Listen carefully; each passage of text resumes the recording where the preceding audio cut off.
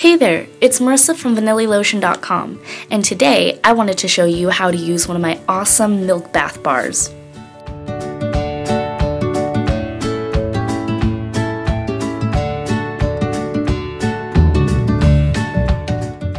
Women have been using milk as a beauty treatment for centuries. Even legend has it that Queen Cleopatra of Egypt used to bathe in milk daily to keep herself young and beautiful.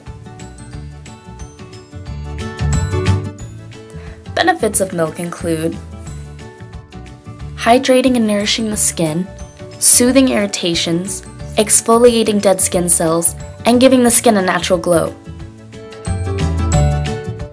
And here's how to use the milk bath. Usually we do this under running water in a bathtub, but for viewing purposes, I'll just show you in a glass bowl.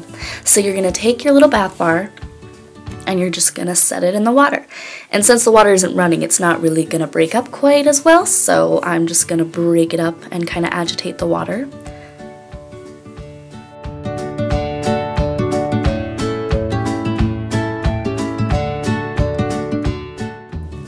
And now the water's getting cloudy, and that is exactly what we want. We want the milk to make the water cloudy so you're bathing in the milk and it's gonna feel awesome and your skin is gonna feel so great.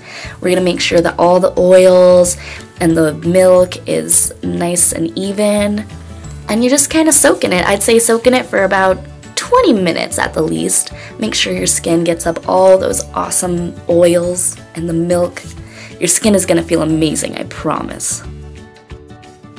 Yep, it's that easy. It's basically like a bath bomb, only it doesn't fizz. Thanks so much for watching.